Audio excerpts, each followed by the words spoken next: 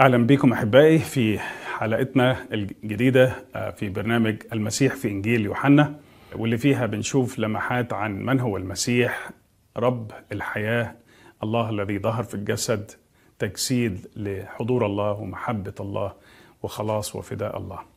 بنشوف هنا في أصحاح ستة وصلنا في تأملاتنا وبناخد بعض الأفكار من أجزاء بنقراها وبنتعرض ليها في كلمة الله.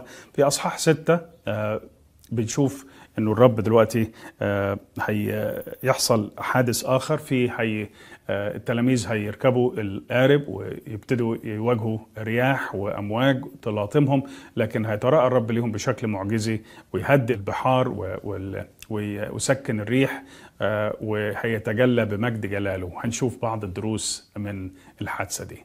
أحبائي هنا في أصحاح ستة زي ما شفنا في الإنجيل المبارك من إنجيل يوحنا بعد حادثة إشباع الجموع. بيسرد لنا البشير يوحنا حادثة هيجان البحر على التلاميذ في السفينة واقتراب الرب منهم ماشيا على الماء بطريقة معجزية مذهلة.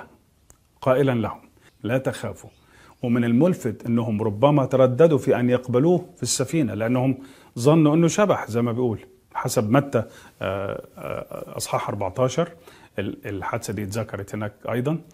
فكروا إنه شبح. غريب إنه إنه بعد كل المعجزات والآيات اللي شافوها واختبروها مع المسيح لسه بيشكوا ولسه مش مستعدين لقبول مساعدته. عجيب. أنا بذكر نفسي وكل واحد فينا إننا بس لو نترك نترك للرب المجال لقيادة أمور حياتنا هنلاقيه هنلاقيه يتدخل ويظبط الأمور ويعطينا سلام في وسط العاصفة.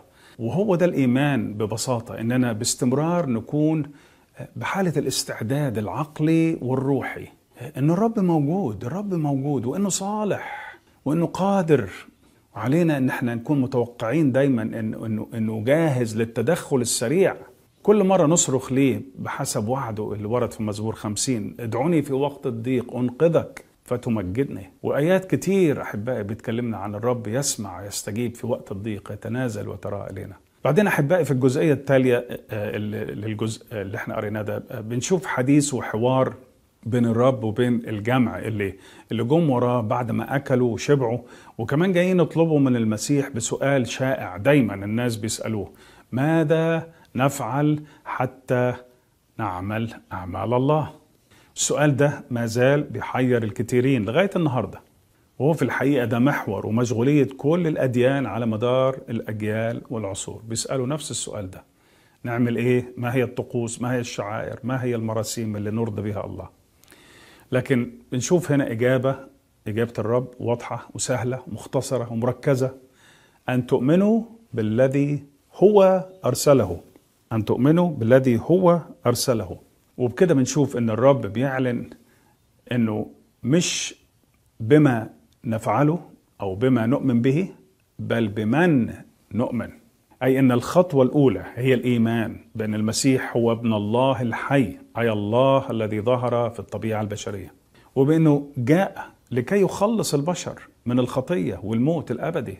ويمنحهم حياة أبدية وغفران كامل لكل خطاياهم بموته الكفاري على الصليب وقيامته المظفرة في اليوم الثالث. بعد هذا الإيمان القلبي الصادق ينال الإنسان غفران الخطايا وعطية الميلاد الثاني من فوق. اللي بتديله الحق إنه يكون ابن الله فاكرين في يوحنا 1 12 أما كل الذين قبلوه أعطاهم سلطان أن يصيروا أولاد الله أي المؤمنون باسمه. وبناء على الطبيعة الجديدة وكنتيجة ليها تتغير أعمال الإنسان وأهدافه بطريقة معجزية عشان تصبح اعمال صالحة صادرة من إنسان نال الحياة الجديدة الإلهية وقلبه صار قلب جديد قلب صالح. في الفقرة الأخيرة من الجزئية دي اللي إحنا بصددها في يوحنا 6 بيتكلم المسيح عن نفسه إنه هو الخبز الحي تحديد في آية 35 أنا هو الخبز الحي الحقيقي الذي نزل من السماء الواهب حياة للعالم. وإن كان المن في العهد القديم رمز واضح لهذه الحقيقة الجوهرية بيأكد الرب أن العلاقة الصحيحة معاه هي السبيل الوحيد لإشباع احتياجات الإنسان الروحية. وزي ما الخبز لازم يؤكل عشان يفيد الإنسان جسديا فكذلك لابد أن نتغذى روحيا على العلاقة الشخصية الحقيقية مع المسيح. وده اللي الرب بيقوله في الآيات 35 ل 39 من إنجيل يوحنا صح 6 أخيرا بيختم الرب حديثه بكلام في منتهى الروعة والأهمية. إن كل من يرى الإبن ويؤمن به تكون له حياة أبدية. وأنا أقيمه في اليوم الأخير.